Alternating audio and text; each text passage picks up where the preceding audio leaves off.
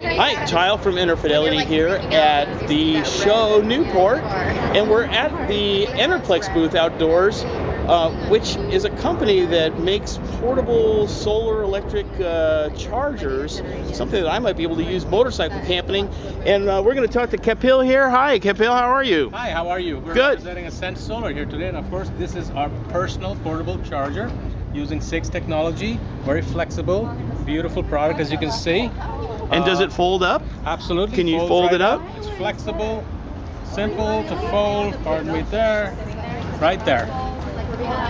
All right. See, that'll that'll fit on my motorcycle. Oh yeah. Yeah. Yeah. Motorcycle camping, absolutely. And then- this here is the Jumpr. This is where you store the power. Uh, this is a wonderful device. So when you're back home late at night, you need to recharge your mobile devices. There you go, the Jumpr. Of course, Kickr.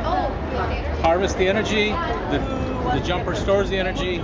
Beautiful combination. Nice.